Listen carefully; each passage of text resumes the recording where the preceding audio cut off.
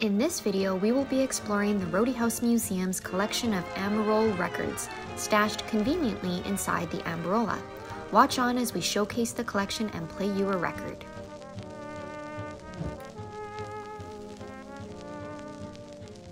Black wax cylinders were produced in the late 1880s and contained two minute recordings.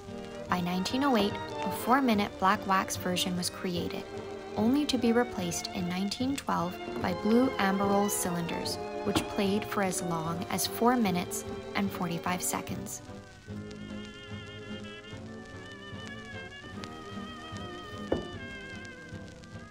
These were made of a plastic celluloid which their inventor, Thomas Edison, tinted a trademark blue color.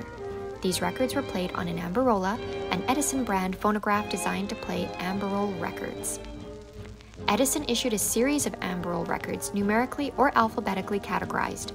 These included Popular Domestic, Popular Domestic Special, Grand Opera, Portuguese, Italian, Hebrew, Mexican, Argentine, Italian, Mexican, Spanish, and Puerto Rican, Bohemian and Norwegian, Hebrew, French Canadian, British, German, Italian, concert, and a number of grand operas. So here we have one of the records. Take the top, and the song's title is written around the rim. Put it on the player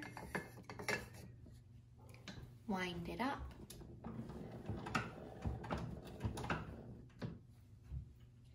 Get it moving.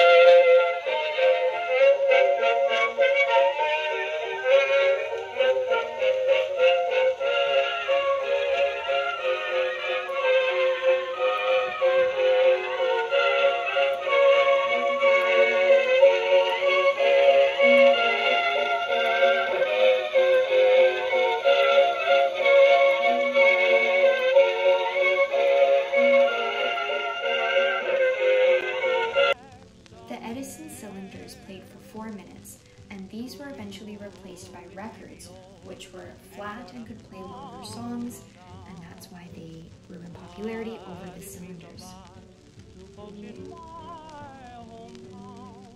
Despite the excellent audio quality of the early Blue Amberol releases, they could not compete with the popularity of flat records, which people were transitioning to in the 1890s. Early phonograph records were recorded onto a thin sheet of metal, normally tin foil. By 1890, record manufacturers began using a duplication process to mass produce the records. Until this development, each record had to be custom made. Now we'll show you a phonograph in action. So you crank the side.